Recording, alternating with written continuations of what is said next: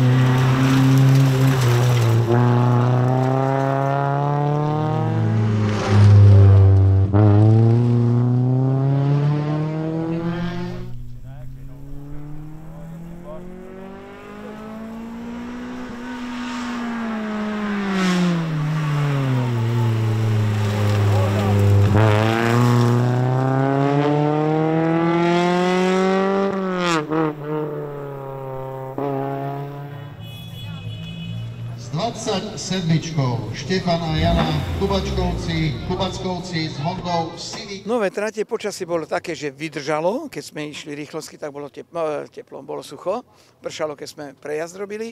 A, a dobre, no došli sme, my sme chceli, e, vydržala technika, to som sa bál, že nevydrží niečo, ale dobre, ja som viac menej všade spokojný na tých tratiach. Mne to je jedno, lebo máme tu svoju rýchlosť a ideme si ňou a dobre. No a došli sme. Nesli poháre za niektoré z prvých troch miest dosiahnutých či v absolútnom hodnotení, alebo, alebo